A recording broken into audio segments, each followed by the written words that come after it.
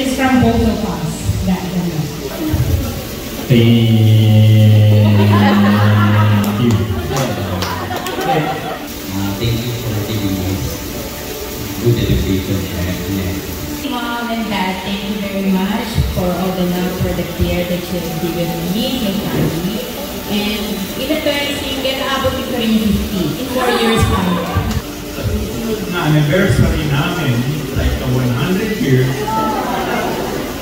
saan man tayo magkita, sa ibaba man o sa itaas, sana maging maligaya tayong lahat. Sa pagkahubay ng Diyos, maraming salamat. Maraming maraming salamat po sa Panginoon. Sa God the Father, God the Son, Lord Jesus Christ, God the Holy Spirit.